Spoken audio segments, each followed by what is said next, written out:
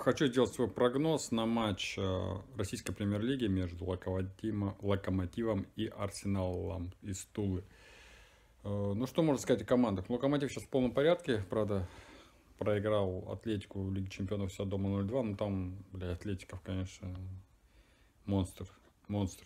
Э, скорость у Атлетика, конечно, командная намного выше. Там Диего Коста забил с метров пустые ворота, блядь.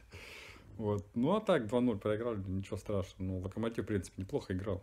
Мне, в принципе, понравилось. Ну, а до этого Локомотив обыграл в неоднозначном матче Зенит дома себя. Вот. А что сказать по Арсеналу? Я Арсенал смотрел, и не один матч, и лично смотрел на стадионе против Зенита. А, мне он не понравился. У них очень большие проблемы в обороне.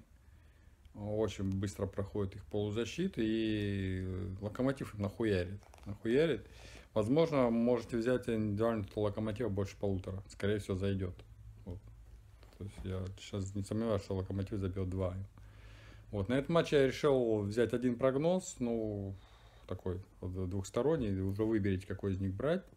Это фора на локомотив минус один за коэффициент 2.0. Вот. Если хотите там понадежнее, но коэффициент пониже, можно взять просто чистую победу Локомотива за коэффициент 1,6. То, что Локомотив выиграет, я не сомневаюсь.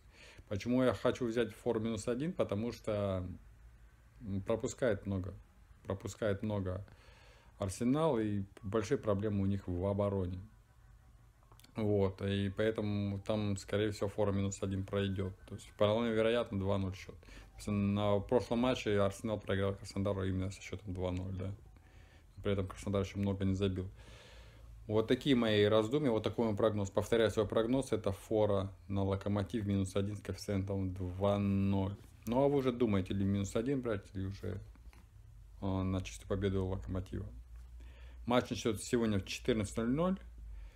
Смотрите футбол и болейте за те команды, на которые вы поставили. Всем пока.